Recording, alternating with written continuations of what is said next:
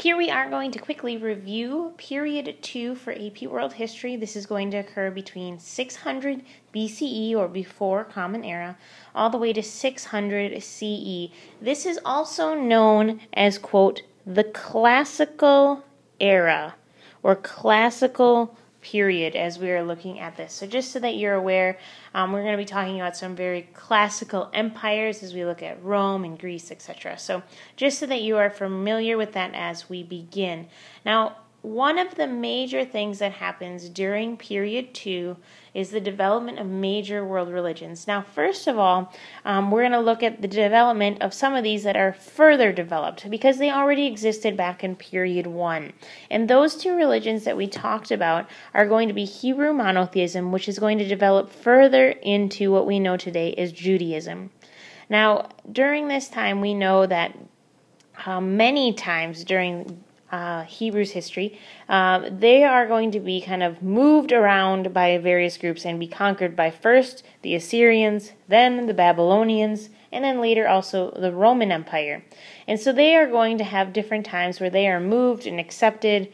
Um, we know that under Cyrus, in the Persian Empire, actually, they are able to return to their homeland. But again, we know they kind of have a rocky history. And as we're looking ultimately at their beliefs, and we've studied significantly about these different things, we know that their God is Yahweh, that they have a covenant, and that's kind of the important thing a covenant relationship between the Hebrew people and ultimately Yahweh. The Torah kind of spells out um, their beliefs um, many people would say that this is the quote unquote Christian Old Testament. So some of these things overlap in different orders um, and focus on many different parts of this. But ultimately, there's also a law code, an ethical way that they believe that they should live, kind of set apart as they are in this covenant relationship with Yahweh. They have lots of different things that they do within their tradition. Um, but we see that these are kind of some of the basic beliefs as we look at Judaism. Now we know that it's also going to come back as we start talking about both Christianity and Islam later on. Now, another religion that's going to develop and kind of take hold um, and really kind of figure out what they believe in is going to be the Vedic religions that are based on the Vedas, as you see here, um, that were written in Sanskrit again. Um, but they were going to develop fully into from this Vedic religion and the practice of the Brahmins, ultimately into kind of Hinduism. Now, there is no official founder of Hinduism. Um, we're going to see that again, it's going to be based on the Vedas, which had many different authors. But some of the key things that we know about Hinduism, um, as we're looking at South Asia ultimately, um, within India and these different beliefs, we're going to see that they really believe in reincarnation or this cycle of birth and death that continues to go on and on. They also believe um, basically in many different gods, which they would say ultimately are various manifestations of Brahma. So, as we're looking at this, they are polytheistic and they have many different gods. We've talked about Vishnu and Shiva, etc.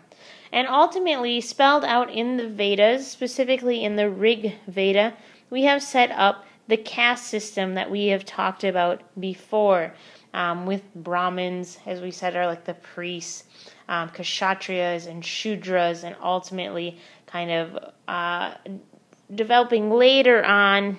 Besides those, we have another caste that develops, which is not in the Rig Veda, which later on will be known as the Untouchables. And so ultimately, the first four classes are all spelled out in the Rig Veda. The Untouchables, the fifth class, is going to be later. Now, as we're looking at the caste system, we know that there are many different ways that this is divided subcaste or jati. Um, and so, as we're looking at this, we can see at some of the basics of Hinduism as a belief system. We know that this is going to be very large in South Asia. Now, other religions are also going to develop during the time, new religions that did not exist back in period one. Um, these new belief systems um, are going to emerge, they're going to spread, and they're also often going to assert some universal truths. Now, Buddhism, as we see, is going to be kind of, um, in the second pole point, a reaction to Hinduism. Um, they were, as we kind of know the, the story of Siddhartha Gautama, uh, as he kind of experienced suffering um, for the first time as he was a prince. his goal was to end suffering. And he tried many different ways to let that happen. And ultimately, as he was meditating under a Bodhi tree, came upon the Four Noble Truths. And those Four Noble Truths basically say that suffering is coming from desire. And we can end desire, and ultimately, we can do this kind of by following the Eightfold Path in a nutshell. And so, um, we can ultimately, in Buddhism, achieve enlightenment. And so, uh, this is what uh, Siddhartha Gautama taught. Uh, that everyone can achieve this regardless of your spot in society, regardless on the caste system. So we know that this is open to all, regardless of their social status. It's a universal religion. Anyone is able to convert. It even allowed monastic opportunities for women so they could be nuns, they could join a monastery and study these things. Now, Buddhism is never going to become one of the big religions in India, but it will gain state support under the Mauryan Emperor Ashoka, um, who converted after the Battle of Kalinga. Um, and then later is going to spread to different areas because of missionaries along the Silk Road into China and also ultimately into other areas that China had influence on. And so that is one of the other new religions that developed. Um, also, we see in China or East Asia, Confucianism is going to develop as well. And we've said this many times that it's more of a philosophy than a religion. And Confucianism is going to be based on the teachings of Confucius, which his works is going to be later written down in the Analects by his followers. It's ultimately going to be a way um, that outlines for people to figure out how to have social harmony. Remember, this is going to emerge in light of the Warring States period, where the fall of the Zhou and ultimately, there's going to be many regional powers, different groups of people fighting within China. And so, this idea of finding a way to have social harmony, Confucius will begin to teach about how this is going to happen. And ultimately, he teaches about key relationships, these five key relationships, such as ruler to subject, father to older son, older son to younger son, husband to wife. Ultimately, we know that they're uh, very male dominated, and so ultimately there is not going to be a lot of rights for women within Confucianism. Um, but they also say that we can create this social harmony by having basically educated bureaucrats or this gentry class that would be able to ultimately control and keep things in order. Because the problem is not um, that the government per se is bad, it's just that the people leading it. So instead, we should have educated people that are leading. Um, ultimately, over time, this does take hold. We know that um, Confucianism, the first time, will be um, taken up during the Han Dynasty um, this philosophy and really will be advocated for during the Han as they start the civil service exam early on, and we're going to see that in later dynasties as well. We're going to see that Confucianism um, will spread to its neighbors and influence ultimately neighboring cultures as well. Um, another religion, again, that uh, develops during this time is going to be Taoism. And as we are looking at Taoism, um, we are going to see that this develops again in East Asia. Um, the core beliefs here is that there's going to be this balance or harmony that needs to exist between humans and nature. And many times you will say it seems a little hippyish, but ultimately, this is some way where you could find kind of a way to be in harmony with the Tao or the way. Now, ultimately, we have kind of this symbol of the yin and the yang, of this kind of balance and harmony between things. Um, ultimately, too, it's just kind of interesting as we look how Taoism ultimately influenced medicine. Acupuncture is actually, as you see on the picture on the right, is a practice or way for people to kind of get back to this harmony and this healing. And so, just so you know, that kind of emerged from Taoism as well. Um, ultimately, they influenced a lot of the architecture and temple buildings that you see also within China. So that's another world religion that will develop within East Asia. And then another famous religion that will develop in this period of time is going to be Christianity. And we know that this arises um, from Jesus of Nazareth, who was a Jewish rabbi. Again, we see just like Buddhism kind of emerged from Hinduism, we see Christianity emerges from Judaism. Um, in this case, um, many would argue that Jesus was not trying to create a new religion, um, but those who were Jewish did not accept his teachings as a rabbi. Now, he had this message of grace and love that was available to all people. It was a universal religion, meaning, again, anyone can convert and it can be spread to different areas. And again, there were monastic opportunities for women where they could become nuns, regardless of what kind of the social uh, construct was of the time where women had less rights. Um, in the early church, women had a lot of rights until, as I've said many times before, society takes over. Um, now, Christianity spread despite there was some really strong Roman hostility because it's emerged during the Roman Empire. So just so you're kind of aware of that, um, we see that the Romans kind of killed Jesus. Um, and then ultimately will spread because of missionaries like Paul of Tarsus and along different trade routes. Um, it will become, from its beginning, when we're talking around 32, 33 CE or Common Era, we are seeing that it is going to be persecuted until um, Constantine, which is an emperor of the Roman Empire, issues the Edict of Milan after he converts to Christianity around 313. Um, he issues this, and then later on during his rule, will make it the official religion. The Edict of Milan made it a not persecuted religion anymore.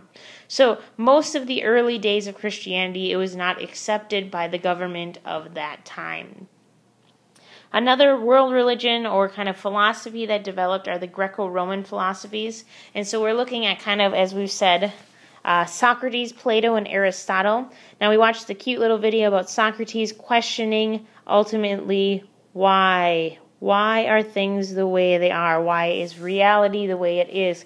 Ultimately, we need to kind of drill down and understand these different things. His goal was ultimately to seek wisdom. And so he did that by asking why, saying that we cannot really know it all. Now, Plato is going to then be his disciple. He's going to write the Apology, which is actually going to be about the trial of Socrates um, and then who he would later be killed. Um, Socrates, that is. So Plato does this, and then later Aristotle is going to be a disciple of Plato. Plato starts his own academy. Aristotle will join Plato's academy, and he will focus a lot on math and science. Ultimately, together, Greco Roman philosophers are going to focus a lot on logic we're going to see empirical observations. So we're kind of getting to the really early days of the kind of the scientific method, being able to observe and watch different things, and then ultimately the nature of political power and the hierarchy of um, ruling governments and such. So we're looking at these different philosophies in religion. This is going to be something major that develops during period two of AP World History. Now we see that um, art and architecture will be reflecting these different values of the religions or belief systems. We see that this is the Colosseum, and so we know that this is in Rome. We see this is a Taoist temple, and we see that this kind of architecture is very, uh, you see it in many places throughout China. We see the different aqueducts again, we see through the Roman Empire another way of irrigation. We see um, as we are looking ultimately at the Qanat system in the Persian Empire, another way to get water when their geography wasn't um, as great for them to have that. And then ultimately in Greece as well, when we're looking at the Parthenon on the Acropolis being the hill and the different types of architecture that we develop here. And so it's very easy to look at different art and looking at their architecture to see kind of when these different things emerged. Now, all these belief systems generally reinforce existing social structures um, while they also offered some new roles and status for men and women. So, for example, we know that in Confucianism, when we're looking at our key relationships, that filial piety, or kind of this respect for elders that we see here, um, is really emphasized. So, women do not have uh, significant abilities to have rights. So, we kind of have less women's rights when we're looking at Confucianism during its kind of origin. However, we know that both Buddhism and Christianity um, allow for women to have some different rights. So they would have more rights as we are looking at this. So just kind of be aware that different um, belief systems usually uh, allowed for different rights for women. Buddhism and Christianity gave the most rights initially. Now, we're going to see also during this period, one of the major things is going to be the development of states and empires during this time. And so when you're looking at period two, 600 to 600, within that time, at various points, different empires will arise. And so, some of the key ones we want to point out on the map just so that you know um, these different ones. Now, we started with ultimately um, talking about the Persian Empire. So, we are going to be talking about ultimately in the Middle East, we have the Persian Empire. It goes a little bit further than it really does. Um, but the Persian Empire and the Achaemenid Empire under Cyrus and Darius and Xerxes, we've talked about. Ultimately, we also will have the Greek city states that we talked about um, in the different polis there. And so we see Athens and Sparta during this era. Um, ultimately, we know that the Roman Republic is going to start in ultimately Rome. Um, and we know that that is eventually going to spread throughout all of the Mediterranean area. So as we're looking, they're going to conquer both Carthage, um, the northern parts here, and all the way through this area later on. Um, also, we know in East Asia, East Asia, remember, is going to be China. We're going to see both the Qin and the Han are going to be our classical empires during this time period as well. And then in South Asia, being India, we're going to see the Mauryan and the Gupta empires emerge. Very neat handwriting there. Um, in that era. So we're going to see lots of different people kind of emerge during this time. These are going to, as we said before, be known as our classical empires. Um, and I think that's easy to remember mostly because when we're thinking of Rome and Greece and Persia, um, that's pretty frequent. We also know that there's been a lot of conflict initially between Persia and the Greek city states. So that's going to occur here. Qin and Han, uh, although will be connected to um, especially the Han, the Silk Road network, still people are very minimally in the initial periods um, just starting to kind of have some interregional trade that occurs. So these are these development, these key states, these key empires um, that developed during this period of time. Um, when we're looking at kind of how they ruled, one of the things that they did is they had new techniques of imperial administration. So there are different things that each of them did to be able to control the people within their empire. Remember, an empire has it's diverse, it has a good chunk of land, not everyone is the same ethnicity, etc. And so we see that there are different things that happen in each of these to be able to kind of maintain control. And so in Persia, remember we have the satraps which were these governors over different areas. We have a satrap over um, a specific area. And so they kind of divide up the large Persian Empire um, into these different kind of bureaucratic zones with a satrap or governor over each of them. In Greece, because of the geography and how divided, they mostly had city states. It wasn't very unified um, into ultimately one thing. We see that we had at different times something like the Delian League, where there was a league of city states that worked together, but ultimately they were very separate because of their geography. But we do see that within Athens, one of those city states, that they are going to develop direct democracy, where they vote directly on different things. So that was their way of kind of ruling their area. In Rome, we see that there's been a transition. Initially, it was a republic where they elected representatives. We saw that tension between the plebeians and the patricians. They ultimately also had the 12 tables, this rule of law that they had. And as you kind of fast forward, and as you've learned also in other subjects, the last person, or the person that many credit to killing the republic, would be someone known as Julius Caesar. And so, as we're looking at Caesar, uh, he was killed. Um, and then ultimately, people mark that as the end of the Republic. And then the empire will begin with our first emperor, Octavian, or also known as Augustus. So this marks the period where we've ended the republic and then moved into an empire. It will spread, it will be very large of an empire encompassing, like we said, most of the Mediterranean region, conquering lots of land. Um, and then again, while the republic didn't want to have a king again, we moved to a time where we have an emperor. And it was kind of turbulent at times. We have a period in the beginning known as Pax Romana, which was Roman peace. Um, but later on, towards its end, as we look at the fall, it is going to have some significant issues and turnover as we are looking at this. Um, so there's kind of two eras of uh, Rome ultimately. We know that the Qin dynasty is going to kind of end the warring states period by adhering to what we know is legalism. Legalism, as we said, is kind of strict rules harsh punishments for breaking those rules. So, things that you want to be aware of as we're looking at how um, Qin Shi Huangdi uh, was very legalistic, very strict, um, but ultimately it was able to unify the Qin dynasty, um, which then led to the Han. The Han used some legalistic methods, but ultimately embraced Confucianism, as we talked about before. And then down in South Asia, as we are looking, so we have East Asia here, South Asia here, the Mauryan and Gupta. Mauryan is going to conquer and really unify large portions of South Asia, or what we know as India. Um, and then ultimately, although it is going to be highly um, Hindu, we're going to see that Buddhism is going to emerge and ultimately will become the state religion under Ashoka. Um, but again, that is going to, after Ashoka's death, Buddhism will never really become um, the key religion ever again within India, just one of the many that are there. Um, then there's going to be, and this is kind of key to remember, a large gap of time between the Mauryan and Gupta. Hundreds of years that we're talking about here. So, after this period of decentralized, we're going to have the emergence of the Gupta, um, it's going to only really be in northern India, not southern India, but it is going to be a golden age. This is going to be the period of lots of scientific discoveries, the concept of zero, focus on mathematics, etc. But these are going to be your classical empires. So we have Persia, Greece, and Rome, as we're kind of looking at Europe and the Middle East. Um, we see that the Qin and Han are classical empires in East Asia or China, and Mauryan Gupta are going to be your South Asian kingdoms.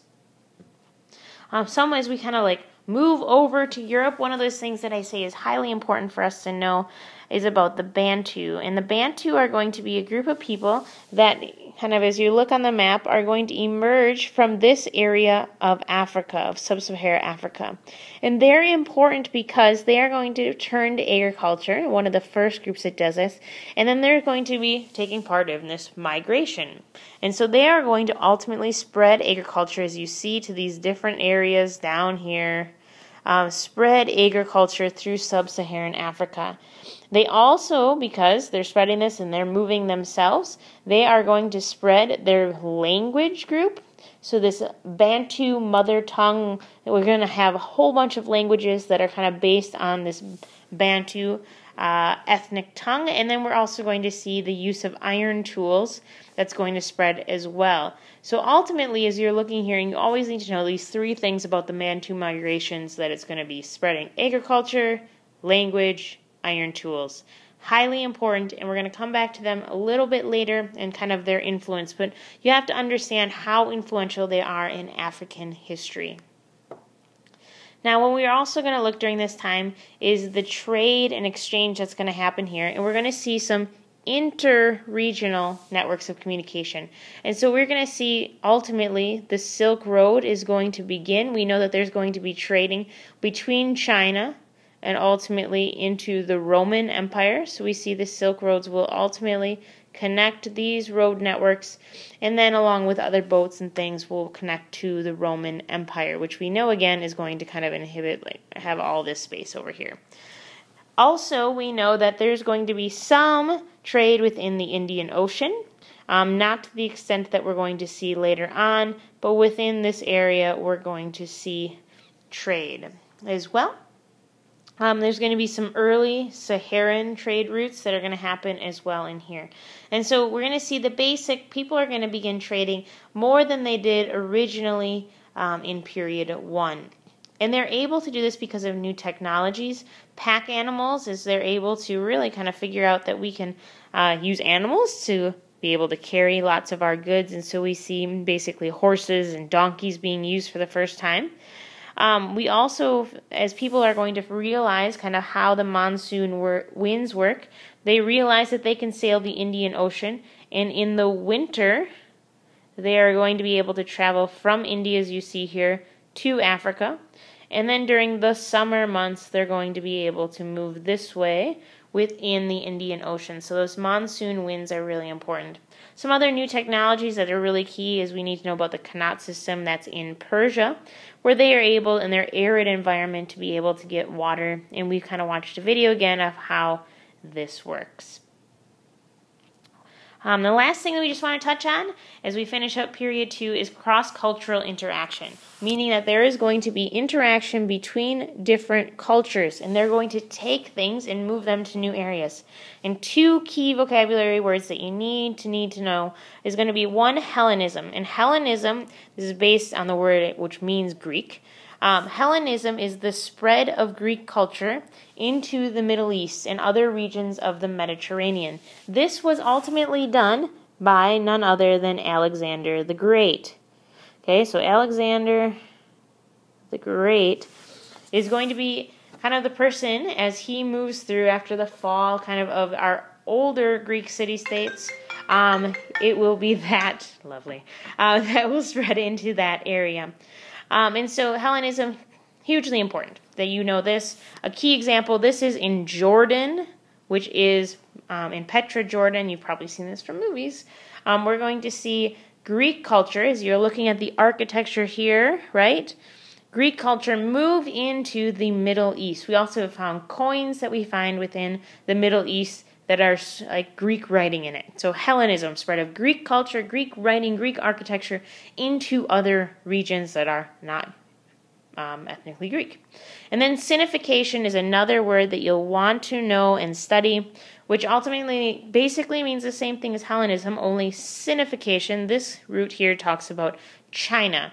And so Sinification is the spread of Chinese culture to other locations. We see most of this during the Tang Dynasty in China, where they had influence on Korea and Vietnam and Japan, and they were able to kind of spread their writing system. They're able to spread different religions that were um, different philosophies as we look at Taoism and Confucianism spreading.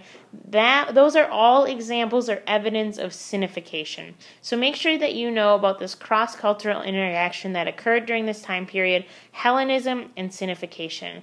Lots of stuff in period two. It's a big period. Um, but ultimately, you want to make sure that you know these different things and these main ideas about the development of states, the development of religions, and ultimately this cross cultural interaction.